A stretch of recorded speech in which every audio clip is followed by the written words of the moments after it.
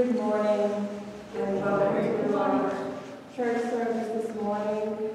I'm glad to see who is here, but yes, good morning to everyone. Um, today is the second Sunday of Black History Month. And I would like to speak to you about my grandfather, Franklin Ward, and about what the various relationships were like in this country in the 1940s. In the South, where the Dodgers often held spring training, African Americans were restricted to inferior amenities. Jim Crow laws kept the African Americans in perpetual social inferi- inferi- inferiorities and bound them to a social code imposed by the white classes. Lynchings were not uncommon, and African Americans faced threats of violence on a regular basis. Even in Brooklyn, neighborhoods were largely divided along ethnic lines. In 1940, Americans made up just 4% of Brooklyn's total, excuse me, population. Thus, white Northerners viewed African Americans as unfamiliar at best and often as undesirable. While racism was still very present, the immigration movement had made some progress in the wake of World War II. America just had witnessed black and white soldiers fight together for the same cause. And this, when I talk about the 1940s, as I go on, you can understand why it relates to my grandfather. Regardless of the complex racial norms of the 1940s, my grandfather loved this country. He enlisted in the Army on December the 7th of 1942. He had an honorable discharge in 1944. You know how many of you know the Organization for American Legion? Is the nation's largest wartime veteran service organization aimed at advocating patriotism. Their motto is God, for God and country.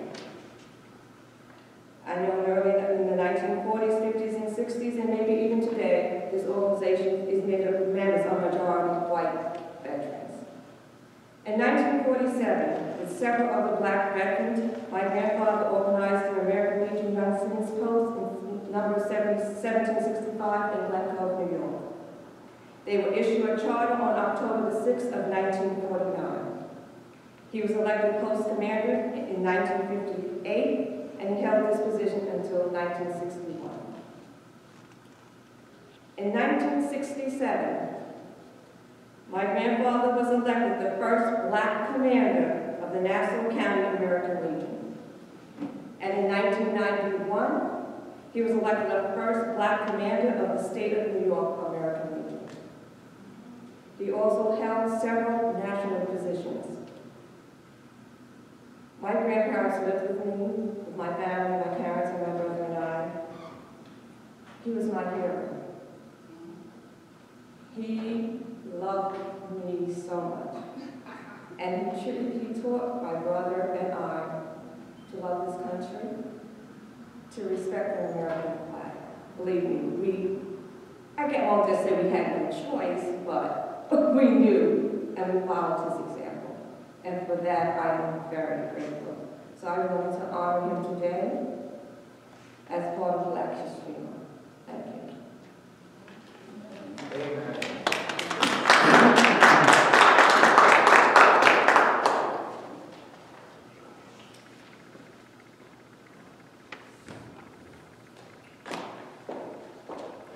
Thank you, Gail, for uh, sharing something that is so personal to you.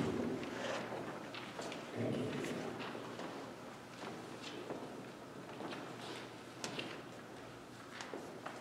Thank you. Oh God, you are our rock and fortress, our sure defense against troubles of the times.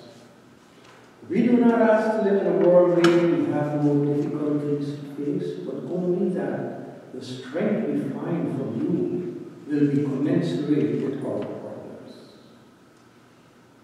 Help us to feed on your strength to find a way that is your way, and guide us along the way as we determine which of several roads to take. May we understand that all things work together for good of those who love you And even though we do not see this as we look ahead, may we see it as we reflect. Lord, you have been our dwelling place in all generations and under all circumstances, for where two or three gather in your name, there you are. We thank you for your word that lives and abides forever and is a light along our pathway. Assures that your way leads to light and that you are the companion of the journey. Meet us at the point of our needs and help us to bless others because of what you have given us. This we ask in the name of all names, Jesus Christ our Lord. Amen. Let us now stand and sing our opening hymn number 728. Somebody is knocking at your door.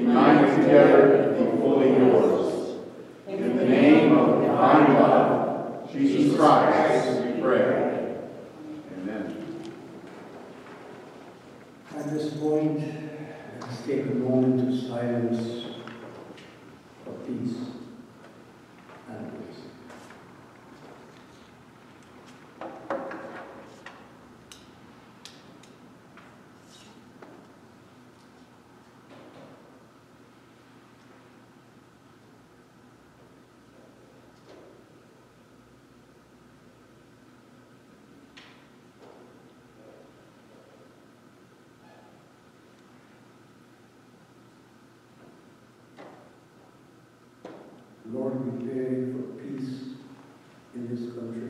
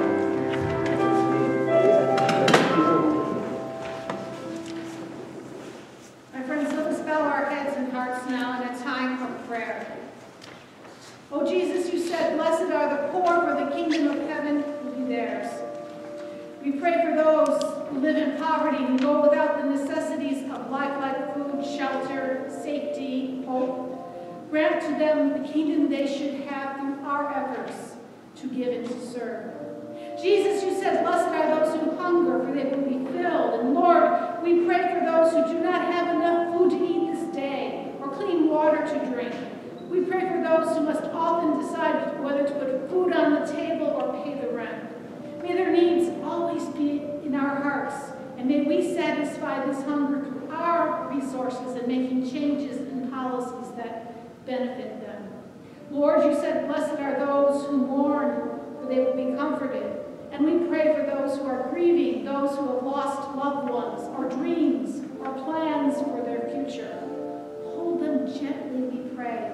Speak comfort to them, to us, and through us. Jesus, you said, Blessed are those who are persecuted for righteousness' sake, for theirs is the kingdom. We pray for those who are shamed, slandered, imprisoned, or executed for following your will and heeding your call. We pray for those around the world who, cannot worship in safety and those who try to do what's right despite the odds. Teach us to prefer righteousness to comfort, that we might see the world renewed. Jesus, you said, Blessed are the meek, for they shall inherit the earth. And we pray for the powerless, for those who go unseen and unheard, those trapped in systems of oppression and violence from which they cannot escape. Fill them with your promise of liberation and strength in a new world. Jesus, you said, Blessed are the merciful. And we pray for those in, in power. May they choose mercy over silence or revenge. Guide leaders in every place into the ways of your servant love. God, you said, Blessed are the peacemakers. We pray for those who seek peace in this fractured world, bridge builders, mediators, those who seek reconciliation rather than shows of force. Multiply them until the whole world knows what it means to live without fear. Jesus, you taught us to pray and to listen to everyone who came to you with whatever pain or joy they had to share. We lift up concerns for this day. We pray with Carol Chauncey for her friend Susan, who was just diagnosed with lung cancer. And we pray with Carol for Brian's health. We pray with Linda Pierce for her co-worker Georgina, whose husband died recently. We pray with Linda and her cousin Cheryl, who's facing a health concern. And we pray for Linda and Cheryl, her son's best friend, Titus, is grieving the death of both his parents, who just died in an automobile accident. We lift up continued prayers for Julius's uncle Jojo, who's been given six months to live because of prostate and blood cancer. Continued prayers for Judy O'Brien, who is recuperating from COVID and a broken leg. And we pray with Bill and Louie Lightfoot for Bill's brother Abram, who has health concerns, and for continued prayers for both Bill and Winnie's good health. Are there other prayer requests from the congregation this day?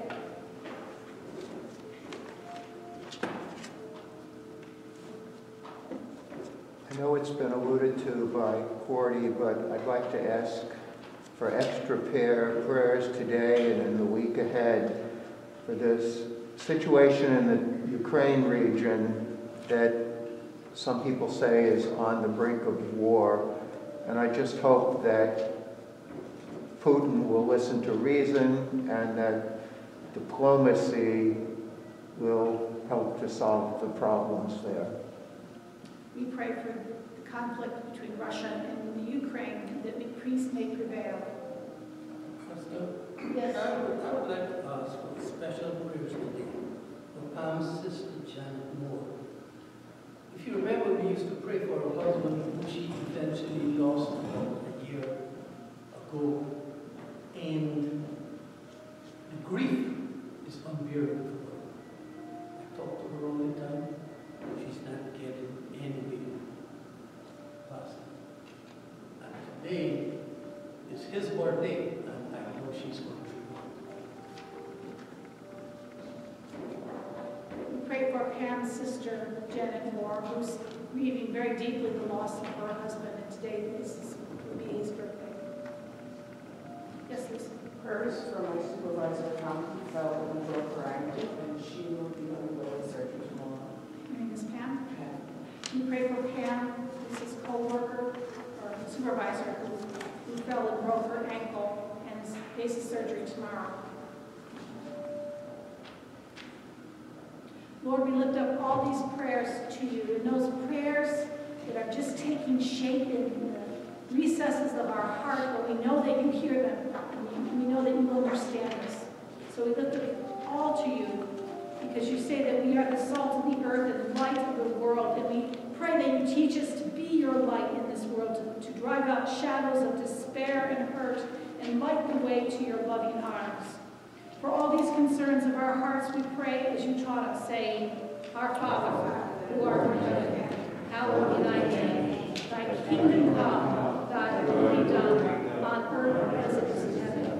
Give us this day our daily bread, and forgive us our debts, as we forgive our debtors.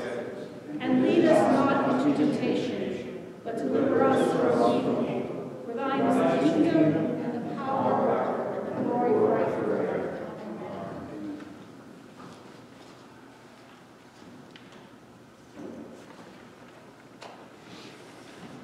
Amen. Please pray with me. Holy God, Word of flesh, let us come to you open to these Christ. Silence our agendas, banish our assumptions, cast out our casual attachment. Confound our expectations, clear resistance that dwell within us, penetrate the corners of our hearts with this word. We know that you can. We pray that you will. We wait with great anticipation. Amen.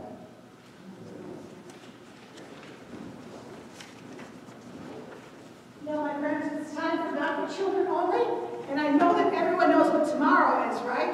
Valentine's Day. It's the day that we get to celebrate love and friendship those around us. And of course, there are many ways to do this to show our friendship and love. My favorite way is this way, through chocolate. but there are other ways. What other ways do you know of that we can we celebrate friendship and love? Flowers. Flowers, sure. What else? Dinner. Dinner. Hugs. Through hugs, yes. Loving words. Loving words. These are beautiful, beautiful ways that we show our friendship and love. Yes? Diamonds. To. Yeah, we know who you're married to. He said diamonds. You hear that, baby? You hear that now? We know who he's married to, You will be talking about Okay, you hear that, Bill? You're, on the line now. And also like the cards and other things like that, right?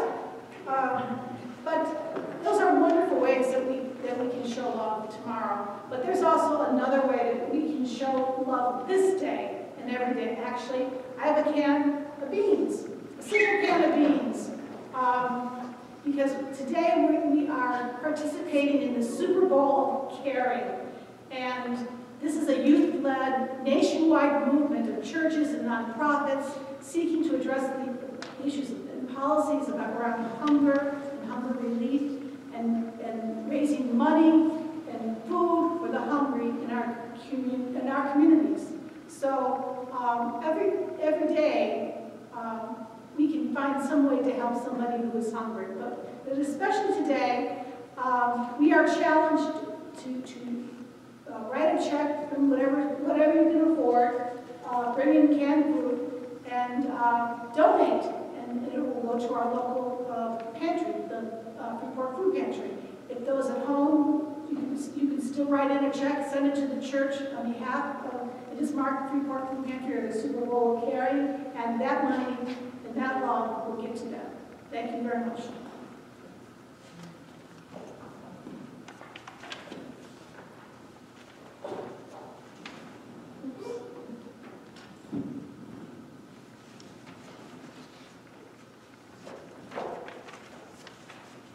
Today's first lesson Psalm, first Psalm, Psalm 1.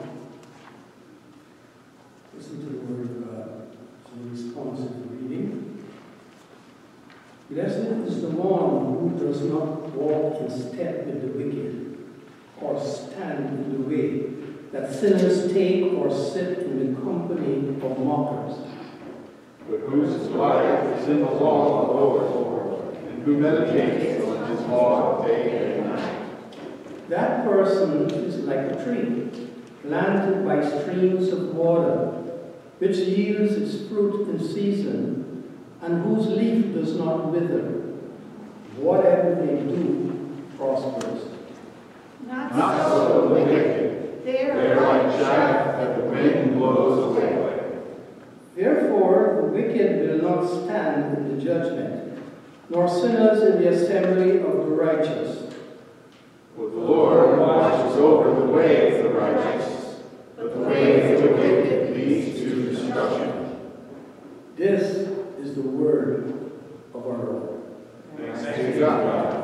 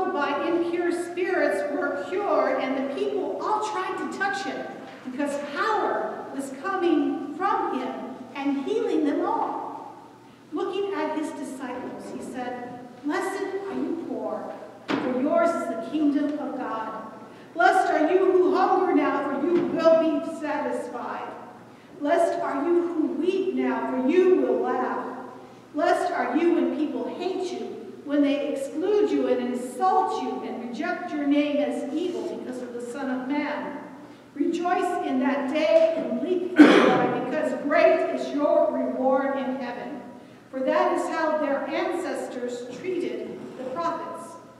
But woe to you who are rich, for you have already received your comfort.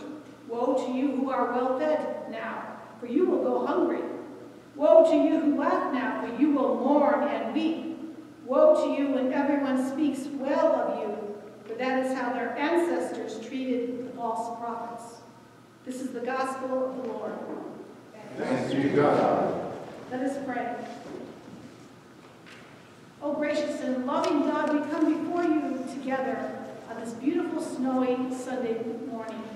And we give you thanks for all the, the blessings you have bestowed upon our lives. And we ask in this time of reflection that you would touch our minds, touch our hearts, that the words that we have heard from Psalm 1 and from this passage in Luke will, will our hearts, and its meaning will be made apparent to us and what, how you are calling for us to be and act and do in this world. May the words of my mouth and the meditation of all our hearts be acceptable to you, because you are our rock and our Redeemer. Amen. Amen. Okay, who here considers themselves to be level-headed? Any level-headed people here? Yes? No? well, you know, you know what level-headed is. To be calm and sensible, reasonable, you know, thinking before you respond in any situation, uh, able to appreciate the pros and cons of the situation, able to take in different points of view. This is happening like you, maybe? Sometimes. Or there's someone who tries their level best to do the best they can given your circumstances, or to be on the level, meaning that we're truthful and honest. Who here wants to be level-headed? Don't we? It's a good thing to have, to be. Um, and on the level with each other, right? So in the Bible, though, level can take on takes on a different, deeper meaning. Now, of course, it's used dozens of times for just the, the ordinary understanding of level, being the physical level plane, right? But there are other instances where level takes on a spiritual connotation. Level in the Bible often means being right with God, being in sync with God's ways.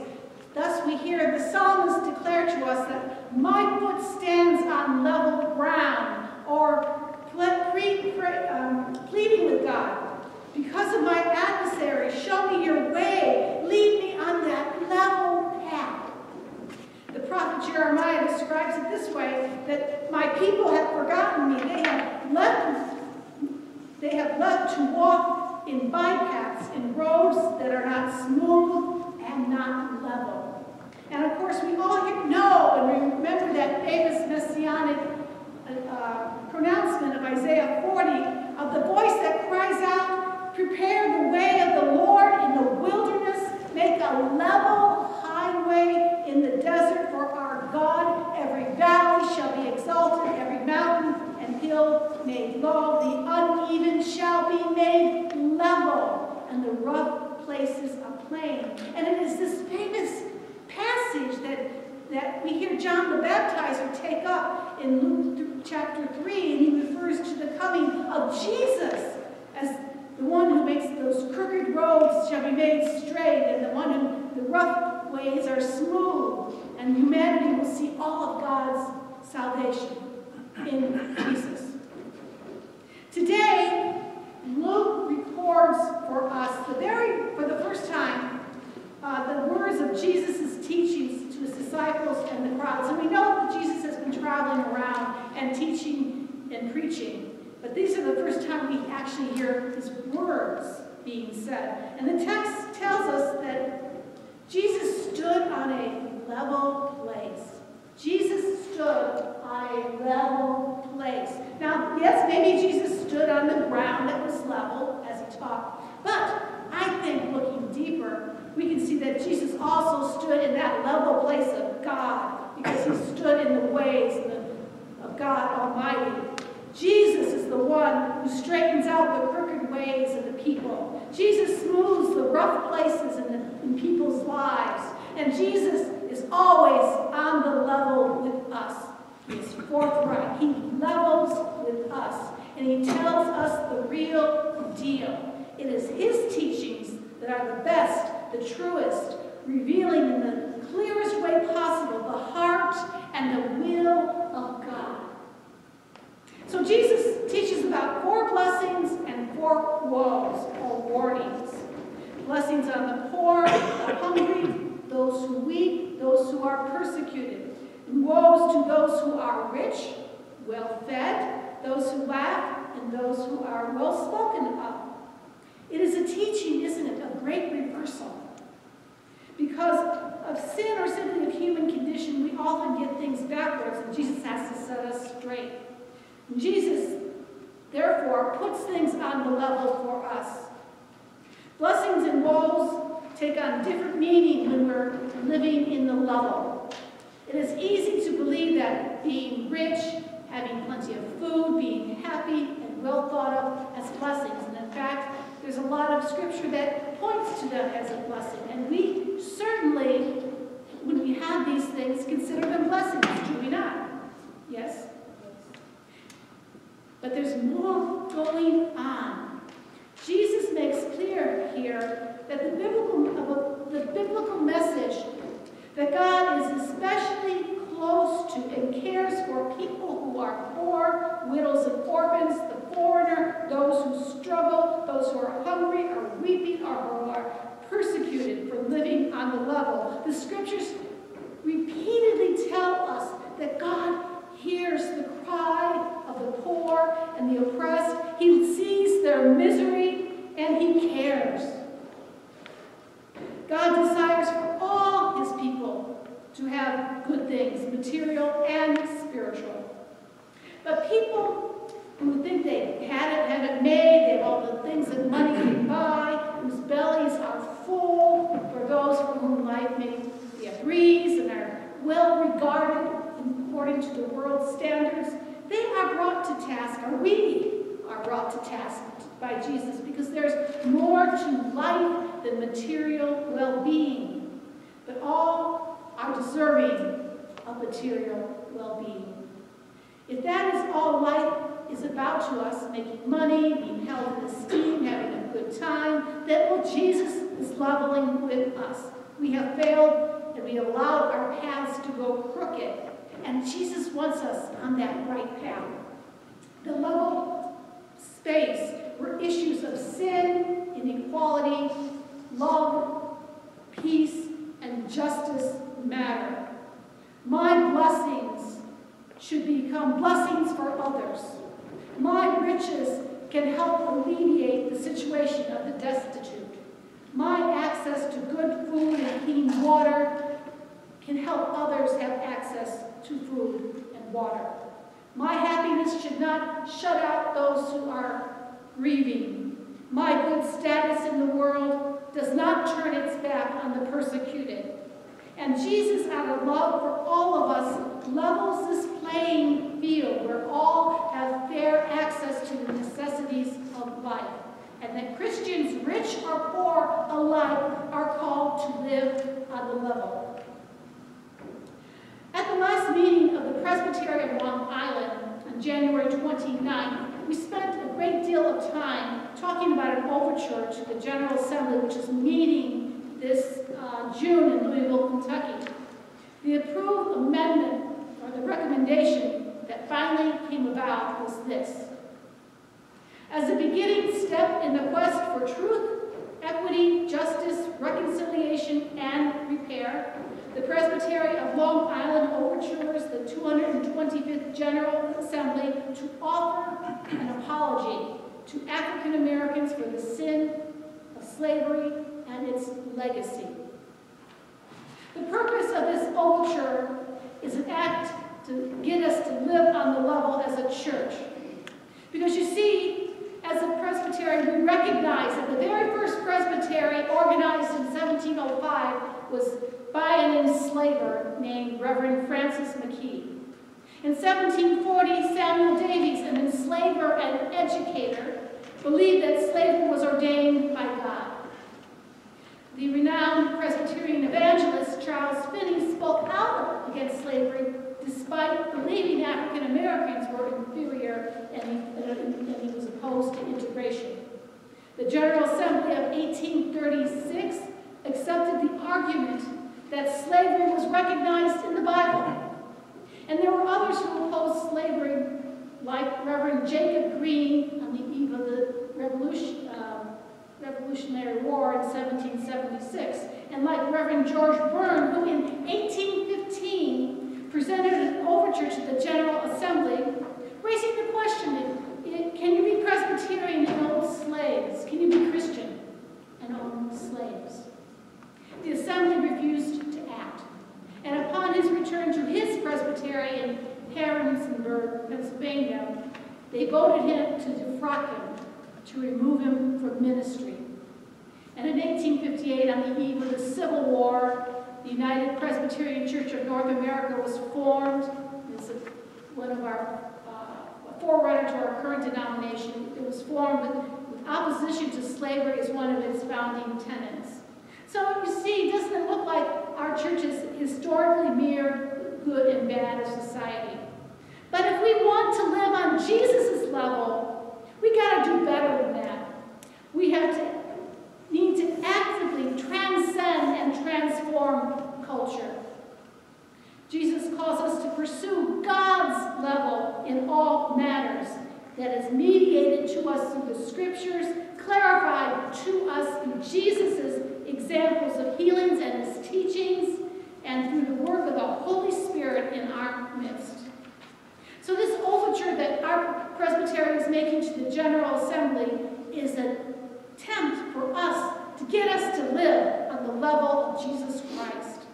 During Black History Month, we have the opportunity, and we are taking that opportunity to deepen our awareness of the sin of slavery and its legacy that lives on and even to our day, as well as celebrate the contributions of African Americans to the country, to the world.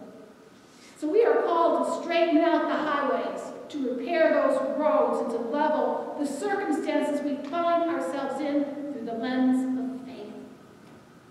So let us be levelers in the manner of Jesus. Let us stand on the level plane. And may God's level bless our acts of leveling the world. And may we be blessed through the grace of God as we strive to make that level for all people in all walks of life. Amen. Amen.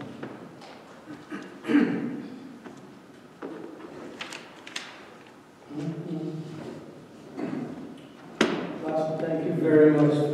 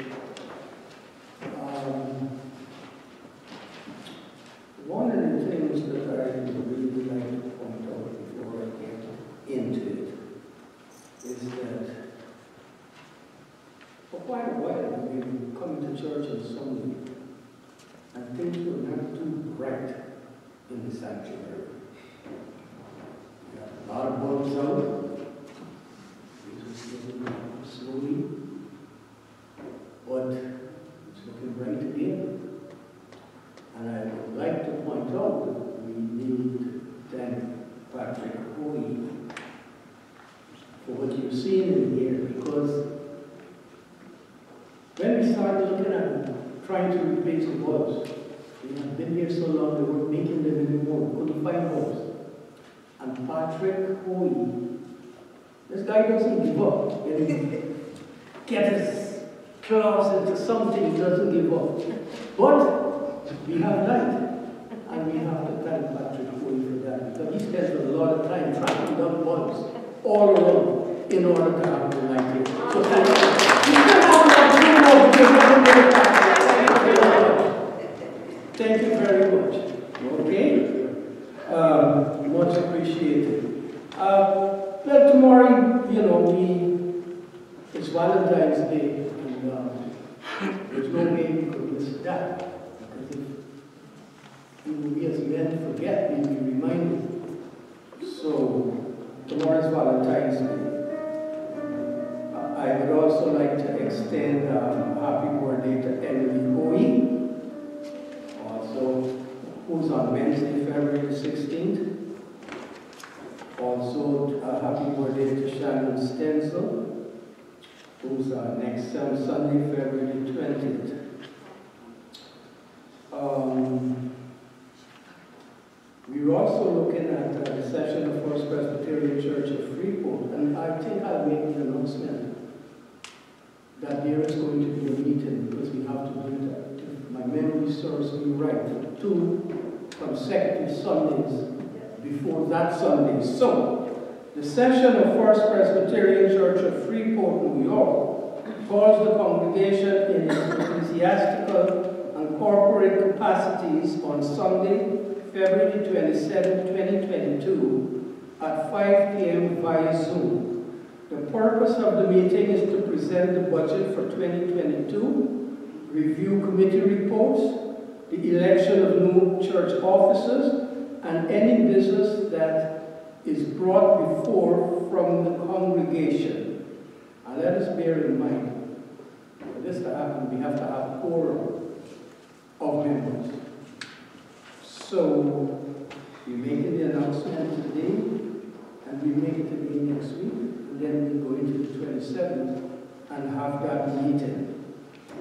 Um, I don't know if there is any other, um, Glenn, do you have anything for us? I mean, Uh, No, just that uh, the the annual, annual report will be sent via Anybody who comes here to, this week and next Sunday will, will get a hard copy. But it'll, it'll be available for you to download to your computer, print out whenever you want it, and use it for reference. Also, it's Super Bowl Sunday, Super, S-O-U-P-E-R. okay. Thank you, Glenn, and, um, Glenn, oh, sorry, Glenn, Yes, next week? Next week, of course, is the Pastorama. Okay. So, everybody will be getting an email about that too, uh, this week. Okay, thank you, Glenn, thank you, Patrick. I almost missed that. Um, And next week, um, your liturgist will be Pam Simmons. If there's no other announcement, yes, I have a request. yes, sure. Um, can we play those, uh, the, was it praise his holy name, like songs like that every Sunday? I think it's more people into the church. We can, but I just want to mention that we are moving into Lent shortly. So, you know, it's, it's a reflective period, so, but uh, have, we'll more. But it's very joyous and uplifting. Okay. Okay, I think George would find a very upbeat version of the old rugged cross. He's, he's that good. Okay. All right, um, Pastor, you have anything for us? No? With that being said, let us stand and sing our closing hymn, number two, thir- number three, thirty-nine, lift every voice and sing.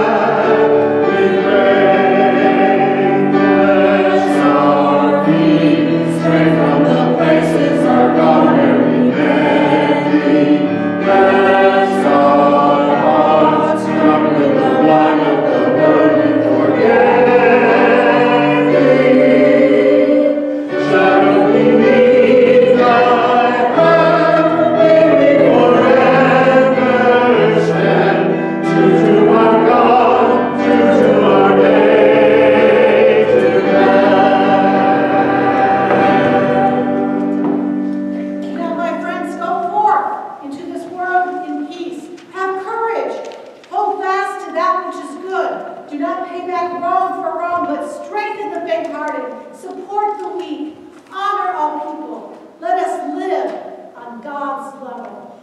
And while we do these things, may the grace of our Lord Jesus Christ, the love of God, and the power of the Holy Spirit be with us always. And God's people say, Amen. Amen.